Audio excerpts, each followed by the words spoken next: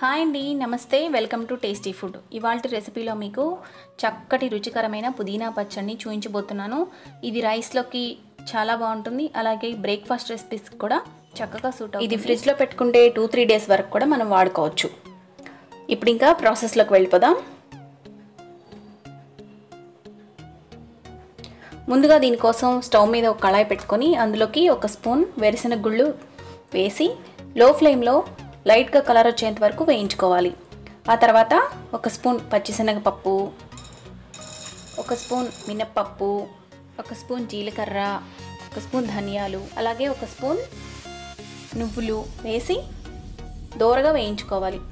Medium ఫ్లేమ్లోనే వేయించుకోవాలండి లేదంటే నువ్వులు జీలకర్ర మాడిపోయే అవకాశం ఉంది కాబట్టి మీడియం ఫ్లేమ్లోనే ఉంచుకొని లో టు మీడియం ఫ్లేమ్లో ఉంచుకొని మాత్రమే వేయించుకోవాలి. మంచి కలర్ అనేది అప్పుడే వస్తుందన్నమాట. లేదంటే దినుసులన్నీ కూడా మాడిపోయే అవకాశం ఉంది.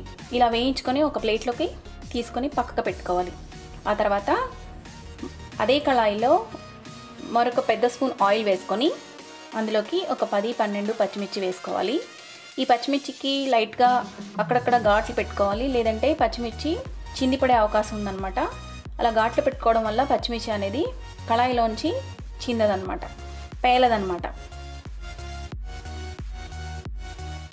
ఈ విధంగా లైట్గా వేయించుకున్న తర్వాత ఇందులోకి కట్ చేసి పెట్టుకున్న టమాటా ముక్కలు కూడా వేసి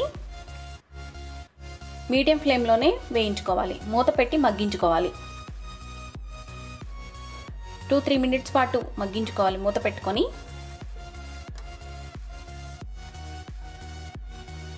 ఆ తర్వాత మూత తీసి కొద్దిగా చింతపండు వేసి ఆ తర్వాత శుభ్రంగా కడిగి పెట్టుకున్న పుదీనాను కూడా వేసుకోవాలి. ఇక్కడ రెండు కట్టల పుదీనాని తీసుకున్నాను నేను.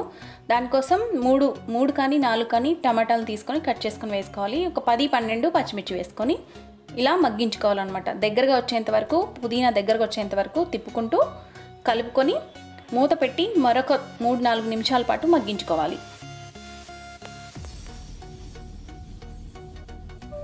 టమాటా అనేది మెత్తగానే మగ్గాలి లేదంటే బాగుండదండి చట్నీకి. టమాటా పూర్తిగా మెత్తగా మగ్గాలన్నమాట.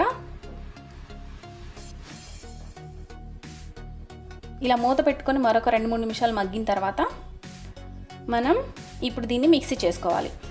దీనికోసం మనం మిక్సీ జార్ తీసుకొని అందులో ముందుగా వేయించి పెట్టుకున్న దినుసులు వేసి సాల్ట్ వేసి ఫైన్ పౌడర్ చేసుకోవాలి.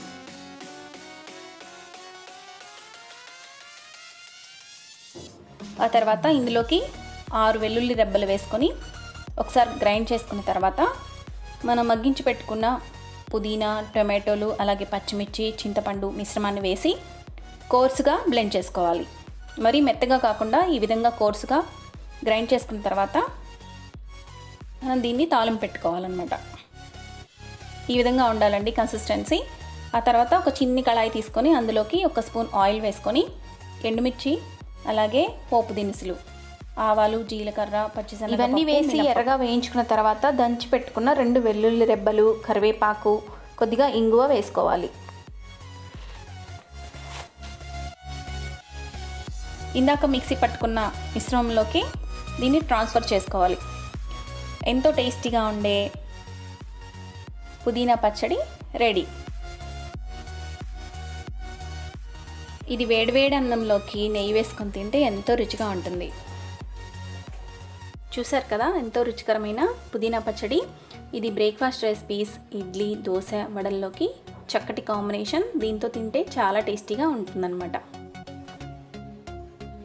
మీరు చేసుకొని మీకు ఎలా వచ్చింది అనేది నాకు కామెంట్ చేసి చెప్పండి. లైక్ చేయండి. ఫ్రెండ్స్ అండ్ రిలేటివ్స్కి షేర్ చేయండి. మరిన్ని క్విక్ అండ్ టేస్టీ రెసిపీస్ కోసం టేస్టీ ఫుడ్ ఛానల్ని సబ్స్క్రైబ్ చేసుకోవడం మాత్రం మర్చిపోకండి.